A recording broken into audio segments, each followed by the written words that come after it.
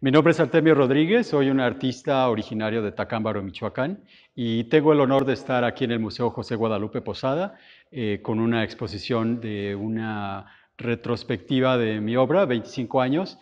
Entonces los invito a que, a que vengan.